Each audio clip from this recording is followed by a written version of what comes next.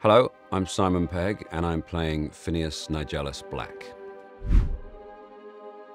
Phineas Black is, at this point in the story, he's the headmaster of Hogwarts School of Witchcraft and Wizardry. We saw Phineas in the books and in the films. He was a portrait in, um, in Dumbledore's office, but this is at a time when he was actually actively the headmaster. Phineas Nigellus Black is the least popular headmaster in the history of Hogwarts.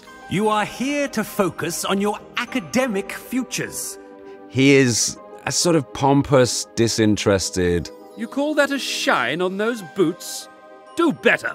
He's not a good teacher or, or headmaster in any way. I think he would have taken on the role of headmaster because of the gig. You know, it's a prestigious position. I don't think he has any interest in children's education or, or being in any way a role model. It's not really his concern. What he wants is the kudos of being the headmaster of the greatest wizarding school in the world. I wonder almost daily why I accepted this appointment from the ministry.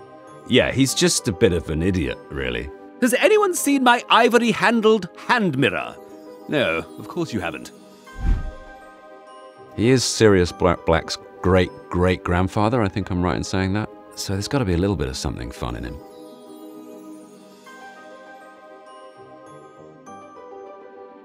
Sirius is not the product of the Black family, seemingly. He's very different, and fin Phineas Nigellus is like the opposite of Sirius Black. He's not noble, he's not brave, he's just a self interested fool.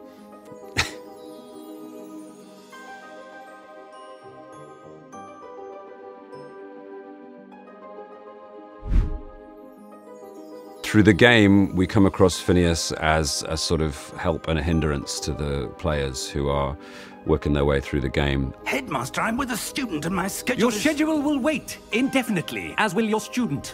He's entirely there to um, scupper the efforts of the player, I'm sure. I haven't time for any of you at the moment. None. None at all. Move aside.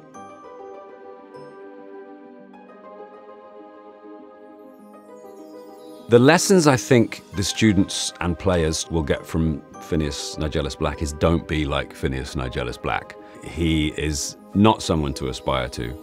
He is a um, self-involved, cantankerous, slightly childish figure, and I think be less like Phineas is the message of the, of the game. I said, I'm sure you all have plenty to do before classes begin tomorrow.